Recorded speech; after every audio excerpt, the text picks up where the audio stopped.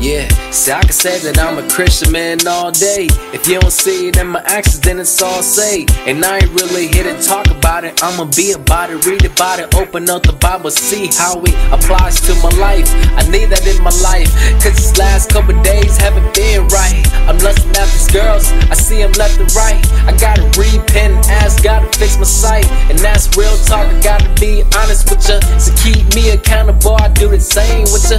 I ain't the perfect type, acting like I'm all holy. I sin like you sin, asking God to please hold me down when I'm down. I need you around. I can't do this by myself, I need my fam. It's like a lost fire, I'm trying to get it back. Lavaudus prayed for me, and now I got it back.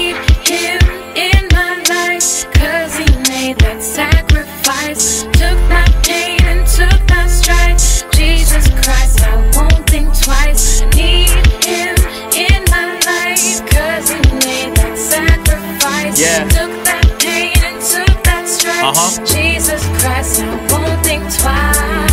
Waking up to a brand new day, preparing my ears just to hear what you say. People wonder how in the world you hear God, where the world have to understand how deaf our ears got. Because the worthy things that keep us from the Bible, not even knowing that technology is our idol. Already some say that I might be wrong, but what if we treated our Bibles like our phone?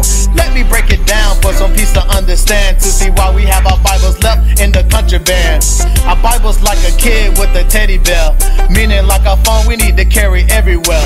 Turn back to get it in case we forgot it, because it's our life, man, not just an object. We check for text messages throughout the day. Well, with the Bible, it can be the same way.